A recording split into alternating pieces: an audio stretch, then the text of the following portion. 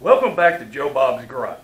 All right, here we go. Today, I'm going to work on the gas tank. Oh, well, the thumbnail real quick about me having gas. Eh, not really true today.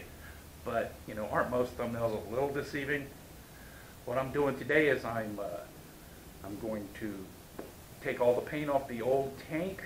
I'm going to repaint it. I'm going to distress it. I'm going to put an old vinyl Harley Davidson logo on it, and I'm going to weld on and install a, uh, a visual gas gauge. It's something a lot of old machinery had on them back in the day, and it eliminates me having to have a gas gauge on it. I can just look down and see how much gas I got in it. So uh, I hope you enjoy. Here we go.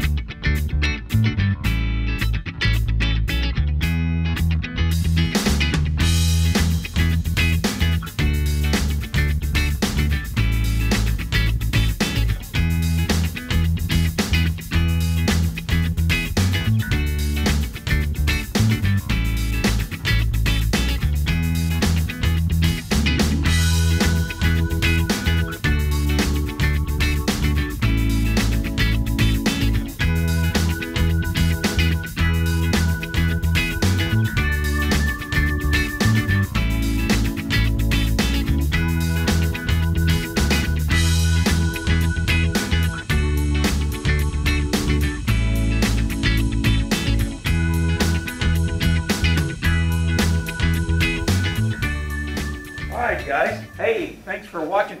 This, uh, let me give you a little heads up on my next video. I'm going to be taking the frame, turning it into a rolling chassis, putting the tires back into the front end, back on it, put the motor in it and everything so I can figure out where to mount uh, this TC Brothers oil tank. Goes right about in there. And I got to weld on some brackets to be able to do that. And I got to weld on brackets and bungs for the, uh, the rear fender. And uh, got to get into a rolling chassis just to do that. So make sure you stay tuned and check out the next video too. Alrighty guys,